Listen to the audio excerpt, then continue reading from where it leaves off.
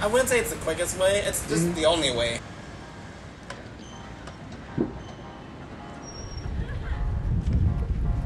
Hello, my name is Wilhelm Scholz, and welcome to Cal TV News. Have you seen these yellow loop benches around campus? Have you ever wondered, who is this for? Who's allowed to ride the loop? Maybe you've seen the golf carts driving around. Well, in today's episode, we're going to take an inside look at UC Berkeley's latest campus transportation. We'll be interviewing students at the Disability Lab, hearing about how to use Loop as well as some grievances students have with the service. Um, so my name is JR, or Justin Robin Porto, and I'm a fifth year studying um, bioengineering. I use the loop every day, actually. It's the only way I'm able to get to class. So, um, to use the loop, I got it through um, DSP, the Disabled Students Program, and then I believe they sent an application to, um, I think, I'm not sure it's parking transportation, but it's a, a different um, subsection of like I think DSP that gives you um, accommodations, and they they um, give you um, access to the loop. But then once you have all of that, you um, you usually download the app, and then when you download the app, it's kind of like I kind of like consider it like your personal like like a UC Berkeley Uber. Um, and then there are specific places that you can get picked up. They're now, and which is now um, designated by the loop bench. So if you're around campus, you'll see like a yellowish bench, and that's where um, the loop cars will come pick up and drop off uh, riders. So you pick the location that you want to get picked up and then dropped off, and then that's when you wait for the drivers to pick you up.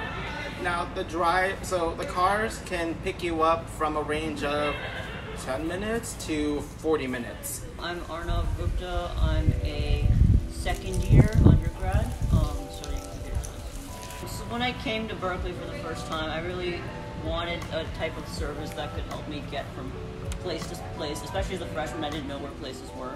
Um, so I contacted DSP about the loop and whether person with an automatic wheelchair um, could use the loop.